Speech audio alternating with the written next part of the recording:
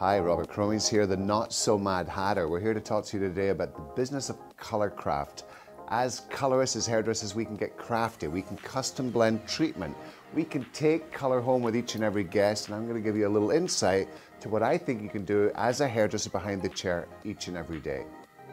Obviously, as professional colorists, there's many ways you can use color craft. You could repigment hair if you wanted to get some orange tone back in before you deposited brown with permanent color. This would be a great tool. But the aspects that I want you to get triggered on is really the sink. How many opportunities do we have with 10 guests a day to experience a treatment? Who would I look for as a hairdresser behind the chair? People that have a situation where color's not lasting as long as they'd like. To keep tones, tonality, to minimize, to maximize, whatever that is, Colorcraft's going to be a great answer for that. So for me, it's seeing an opportunity of more than a haircut, a haircut with a treatment. So we talked about last year, you want to trim it or treat it. Let's get people every single time to have some form of treatment. If they suffer from split ends, my recommendation is Marula. But the reality is, for the clientele that's already addicted to hair color, this is probably the greatest take-home solution we could ever offer. So get excited about Colorcraft, become the crafty hairdresser we know you're capable of, how does Colorcraft come? What I love, it's got eight separate pigments that you can choose from. So whether you're gonna intensify and make brighter colors even brighter and more intense, or whether you're gonna minimize those unwanted tones that often clients who receive permanent hair color complain about three to four weeks later. So this is a great reality here. In my experience as a hairdresser, I have used color shampoos, but what I used to see is it was tend to stick to the porosity. What I love is Colorcraft is positive, so what it's really working to is adhering to the full shaft of the hair to the negative side. So you get beautiful coverage, beautiful combability, great treatment with that added kick of pigment. Who could ask for more?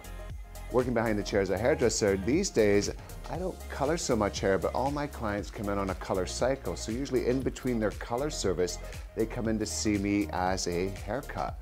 So what I love now is having the ability to use Colorcraft to enhance their color, to actually put back the pigment and the great kicker that excites me more than anything you would imagine is allowing that client to take that home with them. Instead of washing color out, we're actually gonna add pigment using conditioner. So treatment's one of my favorite things in the salon. So what would it mean for you and I to have a treatment that can actually bring pigment back to the hair?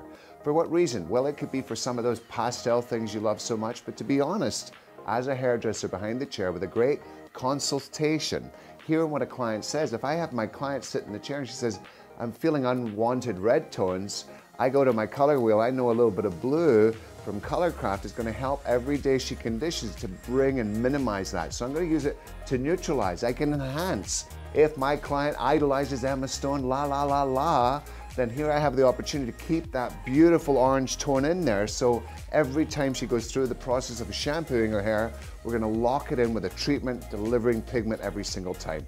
That's what Colorcraft is. Things you could do, addict the world to color. You could take a first-time client that's never experienced color and give them a, just a little tickle because it's not really hair color, it's a conditioner. So we're gonna use it as a treatment. It could be a great way at the sink. You could do an application of it to add it to your color bar menu. But what a great way to take a non-user of color and give them the first experience. Who could ask for more?